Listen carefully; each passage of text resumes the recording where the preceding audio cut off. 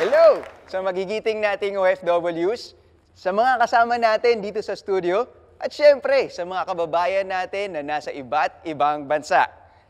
Nasa ibang sulok ka man ng mundo, kahit ibang time zone man yan, magkakasama naman tayo ngayon para sagutin ng sabay-sabay ang tanong na, How to be rich po? Alam namin na kaya kayo nagsusumikap ay para mabigyan ng magandang kinabukasan ang inyong mahal sa buhay. Ako si Paolo Gomez at sama-sama nating alamin ang wastong pag-manage ng ating pera. Sa episode na to, malalaman natin ang pinagkaiba ng savings sa investment. Saan ba natin gagamitin ng savings? At saan natin ilalaan naman ang investments? I'm sure lagi niyong iniisip yan. Ano nga ba ang mga kadalasan nating tanong tungkol sa pera? Saan natin ilalagay ang ating naipon? O di kaya kadalasan, paano natin palalakihin ang pinaghirapan nating pera? Kaya naman sa episode na to, nag-imbita kami ng dalawang matitinik na financial experts mula sa BPI. They hold the answers to your financial questions. Mga kababayan, let's welcome Nico and Len. Hi, Paolo! Hi, Pao. Nico, bro, please take a seat. Hi, guys. At para naman sa mga viewers natin sa Facebook, pwede rin kayong magtanong. Just post your questions. Okay? Alright, so uh, Nico and Len, how can our OFWs be rich po by savings and investing? Good question. Okay, Pao. Ang una dapat nating malaman, how much are they earning now? How much do they have now? Because the first step on how to be rich is to budget what they currently have. Ganito lang yan, gumawa ka lang ng budget list.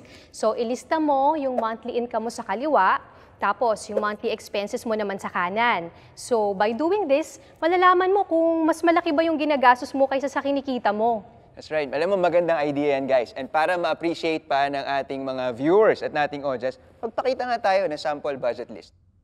Pao, kung makikita mo, sa kanan, dito nakalista yung mga monthly gastusin niya. Kasama na rin dyan yung remittance kasi para gastos din ng pamilya niya.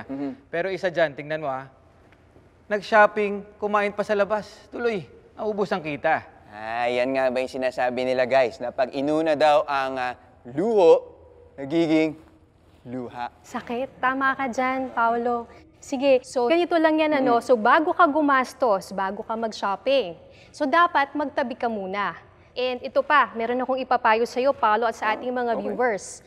So simple equation lang ito. Okay. Income minus savings equals expenses. Sige, so ako'y mahina sa math pero ako'y tulungan mo Len. Ha? So Sige. ibig sabihin, may income ako, kailangan magtabi muna ako for savings Yes. bago pumunta sa sale at shopping sa mall. Tama yan.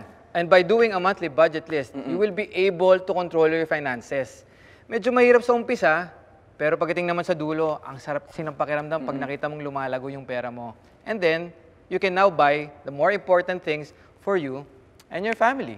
Alam mo, magandang idea yan guys. Ano? Parang sinasabi ni Nico na it can discipline you, nakikita mo yung mga pera lumalabas, and at the same time, na manage mo yung mga pera pumapasok. That's right. Eh, paano naman guys? Nagtataasan ang presyo ng bilihin. o, Ah, paano na yan? yan. Paolo, yan yung tinatawag na inflation. Okay? So, dyan naman makakatulong sa inyo ang BPI. It's not enough na nagsisave ka. Dapat yung pera mo nilalagay mo sa isang financial Hmm. solution na mas malaki yung kikitain kaysa sa inflation. Can you guys explain more about Sige. inflation? Pa- paliwanag ko ha. Halimbawa, 6% yung inflation rate ngayon. That's right. Dahil dyan sa inflation rate na yan, bumababa yung value ng pera natin. Kung mapapansin mo nga, actually, dati yung 500 mo, ang laman yan buong push cart. After 4 years, basket na lang Ah, napupuno basket na niyan. lang, oo. Eh ngayon, guess what? Hawak-hawak mo na lang yung 500, eh, yung nabibili ng 500 mo. Kaya dahil dyan, dapat mas kumikita yung pera mo versus the inflation rate. So medyo lumilinaw na guys. Hopefully guys, nakakasunod din kayo kasi ako ay nakakaunawa na. Pero ah, kanina, nabanggit natin about savings and investing. Pero maliban sa spelling na pinagkaiba, ano ba talaga ang ah, savings at investing? Ganito lang yan, Paolo. Simple lang. So, savings is the money that you set aside for future use para ma-achieve mo yung short-term financial goals. Tapos, ito din yung pwede mong pagkuhanan ng emergency funds in case na kailanganin mo in the future. Pero sana naman wag mangyari. Kaya, you know, we'll knock on wood on that one. Yes. For investment naman, ito yung pang long-term na financial goals mo. Kasi ito yung mas may potential kasi kumita yung pera mo in the long run. Ito ngayon yung pagkukuhanan mo ng pondo for your future plans. Katulad kung mag-retire ka o magtatayo ka ng negosyo in the future. Okay, magdadagdag ako dyan, Nico, ano? Sige, alam namin na may iba't ibang ambisyon at pangangailangan na pwede ring matugunan ng BPI. So, halimbawa, gusto mong bumili ng bahay, meron kaming housing loan. Pwede. Okay? Halimbawa, kung kapos ang pang tuition ni Junior, meron naman kaming personal loan. Okay? Tapos, meron din kaming life insurance para secured ang family mo kahit may mangyari mang masama sa'yo. Knock on wood tayo ulit. Wow, yan. dami palang options natin dyan. Sige guys, so kanina nabanggit nyo na ang savings ay pang short term para sa emergency fund na sana naman ay huwag natin gamitin.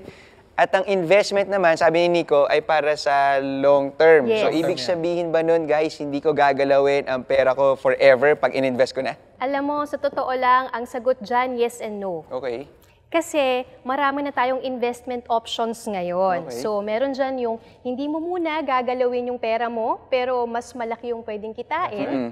Meron din naman na pwede mong galawin agad, pero mas konti yung kita. Alam mo, ang ganda nung sinabi mo. So, ayan guys ha. So, alam na natin paano mag-manage ng pera. Ganito ulit. So, una, kailangan you need to know how much you have. Pangalawa, kahit medyo masakit sa pandinig ko kanina, kailangan daw, sabi ni Nico, you have a budget, Budget. list. Kailangan i-practicein. Budget list para madisiplina, lalo na yung mga taong medyo magastos tulad ko. So para alam natin yung control natin. Pangatlo, kailangan may savings ka. Tama ba guys? Savings Yes. for emergency funds, short term natin. And meron ka ring investment for your future goals. That's right. Malinaw ba yun guys? Tama ba Yes, yun nakuha tama. natin? Alright. So sa ating mga Facebook friends, kung may tanong kayo guys, post it there lang dahil unti-unti na natin nasasagot ang tanong na how to be rich po. Abangan nyo ang susunod nating episode dahil yung ngayon nating ginawa, patikim pa lang yan guys. Next episode, we'll be talking about Investing 101. Abangan nyo sa Facebook ang mga announcements kung kailan ang susunod nating episodes. But for now, good morning, good afternoon, good evening, and goodbye until the next episode of How to be Rich po. Ready na ba kayong mag-invest? You may visit any of our BPI branches. or check our website at www.bpiexpressonline.com.